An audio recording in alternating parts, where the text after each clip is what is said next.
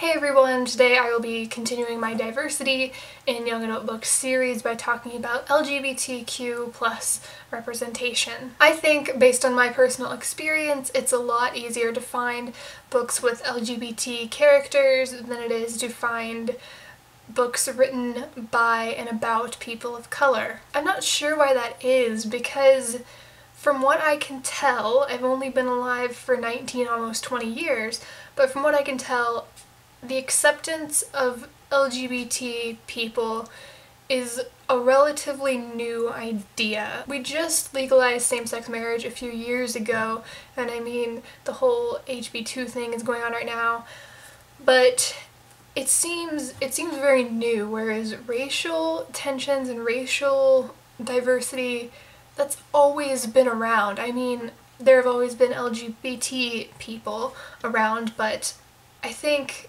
it's easier for us to talk about racial diversity. So I just think it's kind of strange that there are more LGBT books than there are books that are racially diverse. And this is not a bad thing. Well, I guess it is a bad thing that there aren't a lot of books featuring people of color. But I love that there are so many books about LGBT characters because it's such a relevant thing right now. I think it's especially important that there's LGBT representation in young adult books because the teenage years are when you start trying to kind of figure yourself out and that's when a lot of people realize that they're gay or something like that. And so it's really important that they can read these books and know that they're not alone and what they're going through is normal. I've read quite a few books featuring LGBT characters, but it seems to me that most of them, most of the ones I've read, um, the main characters were gay. Um, and it seems that most of the popular LGBT books do feature gay characters and I haven't seen a lot of popular ones with asexual or bisexual or agender or transgender characters. And obviously that's a big problem because everyone deserves to be represented. So as before I'm going to be talking about some books that I've read that feature LGBT characters and some books I'd like to read in the future that feature LGBT characters. And my main goal for this project is to expand my horizons and help other people expand their horizons as well. First one I'm going to recommend is Grasshopper Jungle by Andrew Smith. This on the surface is not an LGBT book, but it's about a race of gigantic grasshoppers who are starting to take over the world and these two teenage boys are trying to figure out how to stop them. And one of these boys realizes that he may be in love with his best friend who is a boy also. Aristotle and Dante discover the secrets of the universe by Benjamin Alire Sands, Sands, Sands, I can't, I'm sorry. I read this one a few years ago in high school and I don't remember much, but I think it's about these two boys who becomes friends when they're children, and then they grow up and their friendship becomes something more. And everyone on booktube loves this book, but if you haven't read it yet, you definitely should because it's beautiful. Like, I remember it was beautifully written and it was very engaging. Simon versus the Homo sapiens Agenda by Becky Albertalli. This is about a boy named Simon who is secretly gay and nobody at his school knows it except this other person he's been emailing anonymously. But one day he leaves his email open on the school computer and the person that comes after him sees these emails and threatens to blackmail Simon and tell the entire school he's gay. So that could be a problem for him. Carry On by Rainbow Rowell.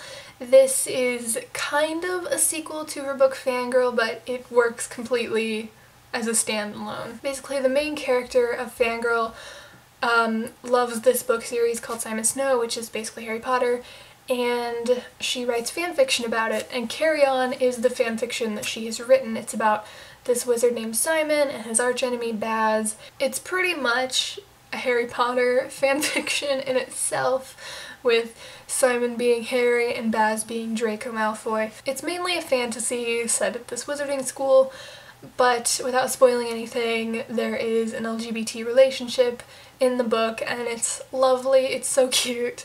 Um, the whole book was really cute and it's like 500 pages but it's such a quick read, you won't even realize you're reading a 500 page book. The next book is The Perks of Being a Wallflower by Stephen Chbosky. I think everybody's read this by now but in case you haven't, you need to read it. It's about this boy named Charlie who is starting his freshman year of high school and he is he's very naive and he's just kind of learning everything about the world and it's lovely.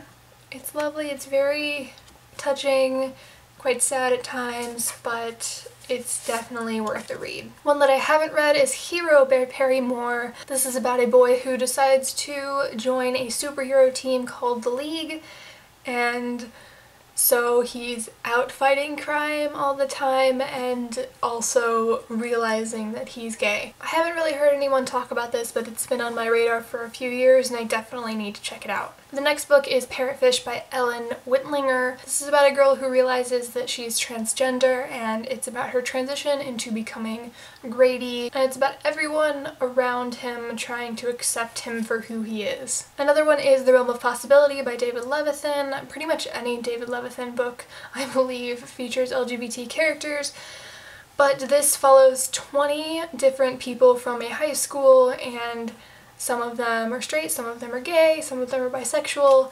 and it's written in verse, which is really interesting. I'm not a huge fan of books written in verse, but I'd like to check this one out sometime. The next one is The Miseducation of Cameron Post by Emily M. Danforth.